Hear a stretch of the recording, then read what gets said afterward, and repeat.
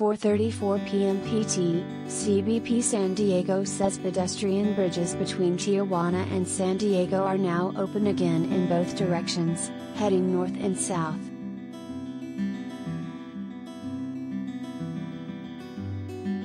Pedestrian east and west are open at the San Ysidro port of entry for both northbound and southbound crossings.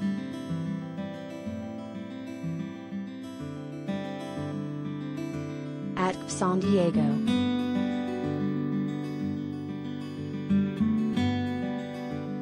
Tensions are at a boiling point at the US Mexico border in California, where migrants have started to clash with border agents, who've also begun throwing tear gas at them and their children.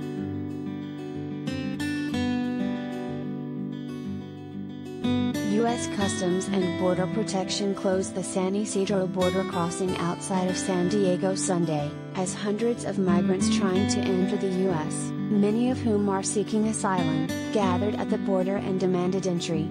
Some of them even started throwing rocks at agents, and U.S. agents reportedly responded by throwing tear gas into the crowd.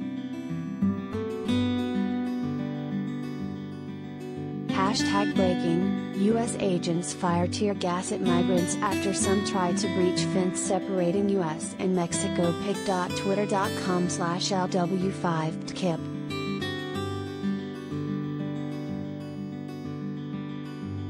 At Tommy Tristein 1. The move is drawing heavy criticism, as there are children among the migrants. No shots have been fired, but remember, President Trump essentially gave the green light for retaliation a few weeks ago as the migrant caravan made its way north.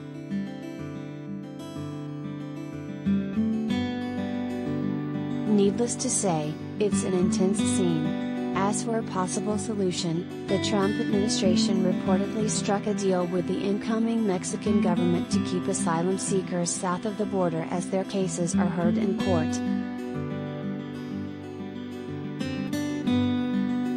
Over 1,000 migrants have stormed past riot police to get to the U.S. border through the Tijuana River hashtag migrant caravan pic.twitter.com slash bf2zslxrqq.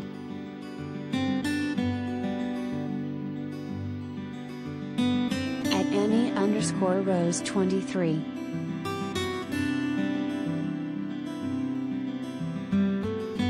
Unclear what a short-term fix might look like, though, as run-ins between authorities and migrants continue to escalate.